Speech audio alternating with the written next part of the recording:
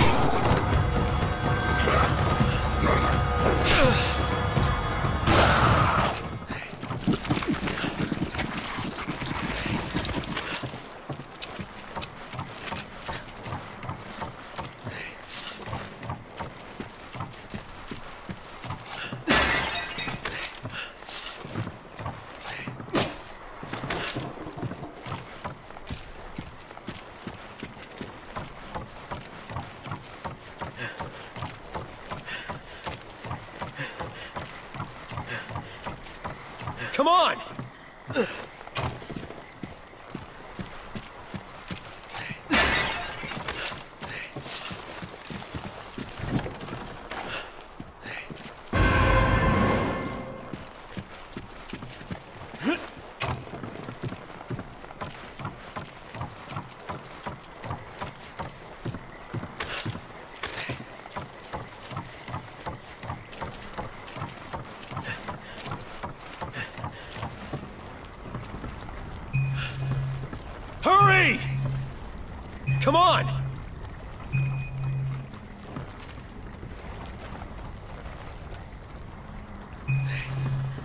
Sheva!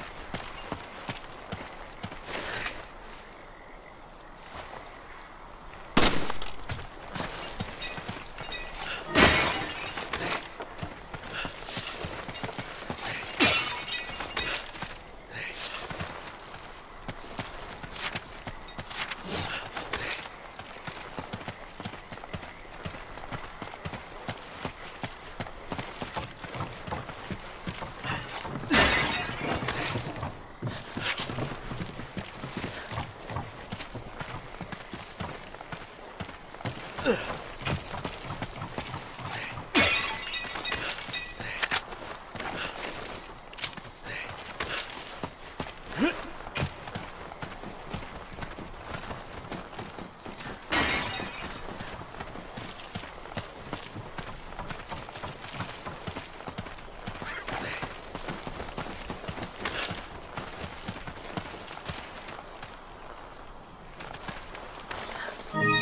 Thanks for the help.